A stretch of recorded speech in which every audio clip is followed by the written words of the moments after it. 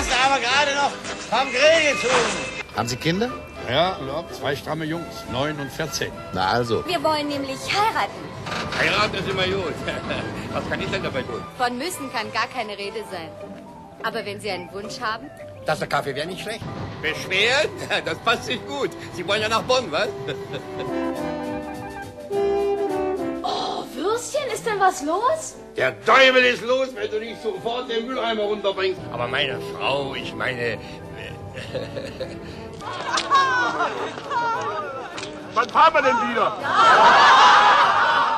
Milch, Zucker? Beides, wenn ich bitten darf. Na, wie war denn der erste Tag so geschäftlich? Gut, ausgezeichnet. Fräulein, Sie haben doch wohl nicht etwa Absicht? Jemand zugestiegen, bitte? Ja, die hab ich. Nur kerngesunde Leute kommen in Frage. Das erfordert schon das Interesse der allgemeinen Verkehrssicherheit. Moment mal, was haben Sie da für eine kleine Narbe? Wo?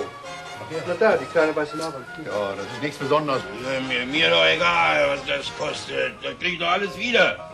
Wenn ich gewonnen habe. Wenn ich 30 Anwälte verbrauche. Der Döskop lässt den Umschalthebel liegen.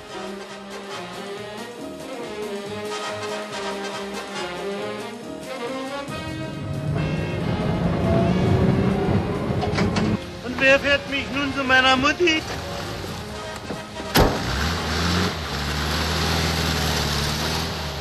Wenn wir mal wieder mehr Geld haben, dann kriegst du auch Fußballstiefel. Wann haben wir mal mehr Geld? Das dauert gar nicht mehr so lange, sag ich dir. Feste Anstellung als, als Beamter.